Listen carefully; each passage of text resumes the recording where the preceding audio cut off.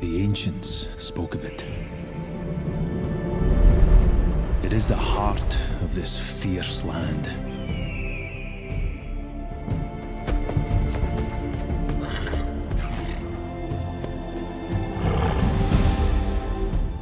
It is carried in the wind.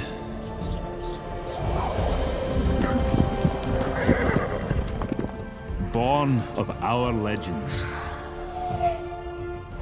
And when we are put to the test, it is the one thing we must always be.